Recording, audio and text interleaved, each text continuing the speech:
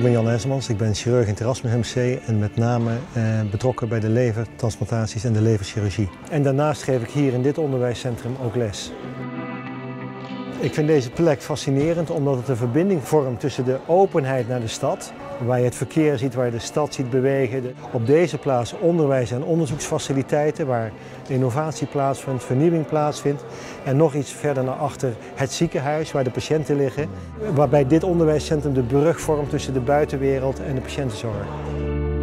En op die manier proberen we door vanuit de problemen die we meemaken in het, in het ziekenhuis bij de patiënt, dat te vertalen naar onderwijs om eens te leren waar liggen onze problemen, waar liggen de ontwikkelgebieden, want dat moeten de nieuwe mensen gaan ontwikkelen. En naar de onderzoekers toe op dezelfde manier. Wat zijn de problemen die we hebben in de kliniek? En welke stappen zouden we moeten maken om duidelijke verbeteringen te krijgen? Ik vind het heel fascinerend om te zien hoe waar we nu staan en waar we nu over vijf à tien jaar weer zullen staan. En dat komt hier vandaan. Het mooie van lesgeven is dat je een interactie krijgt met de mensen aan wie je lesgeeft. Je hebt zelf vaak een verhaal, een standaard verhaal op, gebaseerd op jouw ervaring. En door dat verhaal over te dragen aan anderen en de reactie van anderen daarin te toetsen, want het is een interactieve setting, eh, krijg je zelf kritische vragen, waar je jezelf weer aanscherpt om na te denken, kan het anders, kan het beter.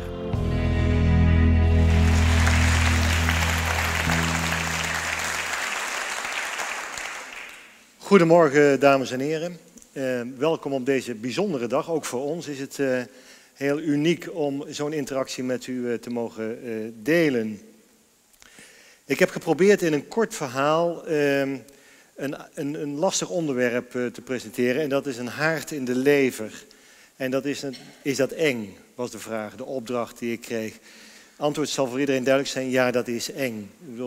Wij kunnen daar soms heel simpel over doen, maar dat is natuurlijk reuze eng als u dat heeft.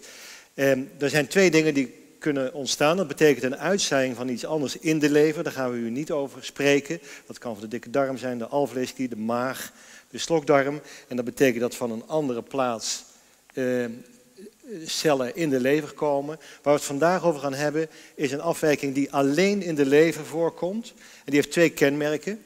Hij, die, die afwijking in de lever die gaat niet zo heel snel naar andere plaatsen. Dus die blijft vrij lang tot de lever beperkt. En dat biedt ons mogelijkheden. We noemen dat leverkanker, primaire leverkanker. En die andere vormen die ik noemde, noemen we secundaire. Die zijn het gevolg van iets anders. En hier ziet u zo'n lever afgebeeld, een normale lever met daarin zo'n proces. Wat, wat heel vervelend is. U, krijgt dan zo'n uitslag, u heeft een ziekte aan uw lever, een vlekje op de scan. En dat vlekje, dat betekent als we een scan maken dat je een, een andere kleur ziet uh, in dat weefsel. En dat heeft de, de connotatie, de verbinding met heel slecht bericht.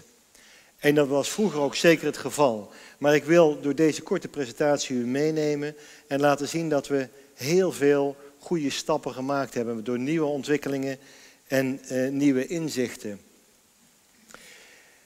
Wat betekent dat nu voor de transplantatie? Als u kijkt, en dit, dit is misschien een beetje een lastig verhaal, maar ik neem u mee om te laten zien wat het precies inhoudt. Hier ziet u de aantallen, als je iets zou gaan bestuderen, van mensen die een leverziekte hebben en die getransplanteerd gaan worden in Europa. Je ziet de jaren die er uh, gemeten zijn en dan ziet u de oorzaken als reden voor de levertransplantatie in de kleurenbalken weergegeven. En u ziet acuut falen, dus binnen drie dagen wordt u heel ziek, uw leven doet niets meer. Uh, dat is eigenlijk een beetje aan het afnemen, omdat we daar uh, om allerlei redenen, medicatie, paddenstoelen, andere dingen, uh, beter onder controle kunnen krijgen en op andere manieren kunnen behandelen. U ziet de groene balk, dat zijn de overige ziekten, dat zijn bijzondere ziekten. Die blijven een beetje stabiel, die zijn voor een deel erfelijk bepaald, die hebben andere oorzaken. En dan ziet u twee groepen overblijven, de algemene cirrose. En dat kan het gevolg zijn van bijvoorbeeld een hepatitis B of C. Dat kan zijn door alcoholgebruik. Dat kan ook zijn door overgewicht. Als u, een, een, een, u kunt een, vervettende lever krijgen. En ook een vervettende lever kan op een gegeven moment cirrotisch worden. En u ziet een extra groep in het rood aangegeven. Dat is leverkanker. En u ziet dat in het begin was dat minimaal. Omdat de prognose, de levensverwachting met de transplantatie werd als somber ingeschat. Maar u ziet dat die groep in de loop der tijd groter begint te worden. En dat kunnen we rechtvaardigen omdat de resultaten beter worden. Als we gaan kijken welke groepen patiënten dat zijn, dan zijn dat mensen die in het algemeen, je ziet hier het percentage is net gekanteld met de vorige keer, en hier de leeftijd. Welke mensen krijgen nu een levertransplantatie, in dit geval voor kanker? En dan ziet u dat naarmate de patiëntengroep ouder wordt, dus de mensen boven 60 jaar, daar is een groter gedeelte wat alsnog getransplanteerd kan worden voor kanker. En dat betekent dus dat als je op relatief hogere leeftijd ehm, een transplantatie krijgt, dat je dat nog kunt eh, doorstaan. En dat komt omdat wij steeds beter in staat zijn. De, de chirurgen en de anesthesiologen samen kunnen tijdens zo'n operatie veel gecontroleerder opereren dan we dat in het verleden konden. En dat betekent dus dat je een tussen haakjes oudere patiënt nog steeds een hele grote, maar wel een veilige operatie kunt bieden voor een anders zeer ernstige ziekte. Wat maakt nou die transportatiestap zo bijzonder? Want u zult zeggen, ja, je bent chirurg, je kunt er ook een stukje afhalen. Dat kunnen wij ook. Technisch is dat niet veel anders. Alleen u heeft door die ziekte die u heeft, door die cirrose, door hepatitis, door andere oorzaken, is die lever veranderd.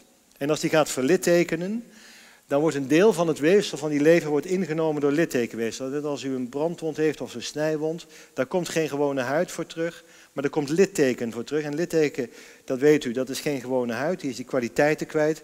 Dat geldt ook voor die lever, daar komt littekenweefsel voor terug. En dat littekenweefsel functioneert niet zoals een lever zou moeten functioneren. Dus ook al heb je nog steeds zo'n omvang, de capaciteit van de gewone cellen om afvalstoffen te verwerken, om stolling aan te maken, om u eh, niet vermoeid te laten worden, die kwaliteit die neemt af. En dat betekent dat we, als die kwaliteit al is afgenomen, kunnen we hier niet een stukje afsnijden, zoals we bij een gewone lever wel kunnen. En dat betekent dus dat de enige oplossing die we daar hebben, aan het einde, ik laat u zo de alternatieven zien, betekent dat de hele lever verwijderd moet worden, ook al heeft u maar een relatief kleine afwijking. Dat betekent als we gaan kijken wat is dan die kankers die we kunnen opereren, want sommige die worden niet getransplanteerd, en ik probeer u uit te leggen waarom. Als het van een ander orgaan komt, en die mensen komen natuurlijk vaak op het spreken, kan ik ook getransplanteerd worden, is het antwoord nee.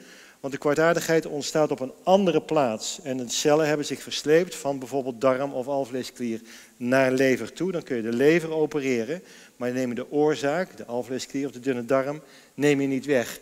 En we weten dat combinaties van die operaties, die verlengen het leven niet en zijn te groot eigenlijk om iemand aan te doen.